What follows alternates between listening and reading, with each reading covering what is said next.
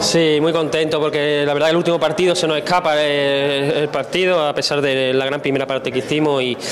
no era fácil hoy porque fue un palo duro y el equipo pues ha salido a pesar de que se ha puesto con un gol en contra ha salido con mucha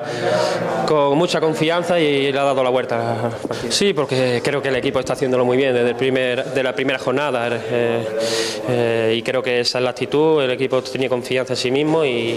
y solo la, la segunda parte del otro día creo que los demás encuentros hemos merecido más y, bueno, eh, hay que seguir. Sí, creo que la afición ha estado de 10 porque a pesar del gol en contra han estado con nosotros, eh, es increíble jugar aquí, tenemos que, tenemos que seguir sacando victoria aquí porque es clave para, para estar ahí en lo más alto. Sí, porque como te digo, eh, creo que el Mister nos está transmitiendo eh, unas ideas muy buenas, estamos cogiendo eh, las ideas que, nos transmite y yo creo que lo estamos llevando a cabo dentro de,